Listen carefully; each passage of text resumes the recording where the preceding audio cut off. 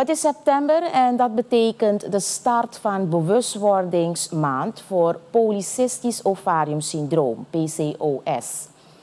Dit syndroom treft tot 10% van de vrouwen wereldwijd.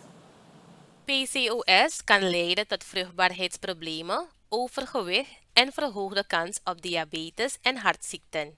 Veel vrouwen weten niet dat ze PCOS hebben, omdat de symptomen kunnen variëren. Behandeling kunnen bestaan uit lifestyleveranderingen en medicijnen. De maand is bedoeld om bewustzijn te vergroten en vroegtijdige diagnose te stimuleren. Organisaties over de hele wereld zetten campagnes op om meer kennis te verspreiden. Regelmatige controles bij de arts zijn essentieel voor vrouwen met vermoedelijk PCOS.